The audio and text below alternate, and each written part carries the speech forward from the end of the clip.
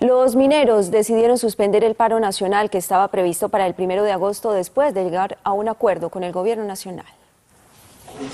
La decisión se tomó luego de que la Confederación Nacional de Mineros de Colombia llegara a un acuerdo con el Ministerio de Minas para que se acompañara a los mineros en los procesos de formalización y legalización de los títulos.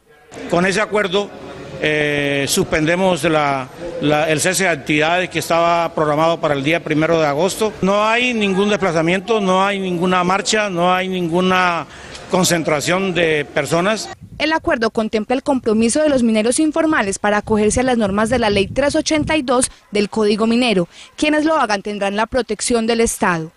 No hay paro, que la gente esté tranquila, demos este parte de nuestra ciudadanía y aquí lo que vamos es a formalizar la minería con la ayuda del gobierno nacional y el gobierno departamental. Los mineros aseguraron que del pliego de peticiones solicitada al gobierno nacional, este cumplió con el 80%, por lo tanto se tomó la decisión de suspender el paro.